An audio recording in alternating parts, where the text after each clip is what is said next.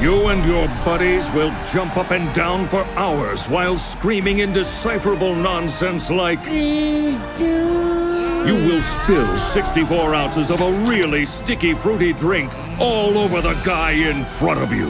And you will likely remove your cute little blue denim overalls. And why? Why do you do this? Because you're a minion! Swing those pants, baby!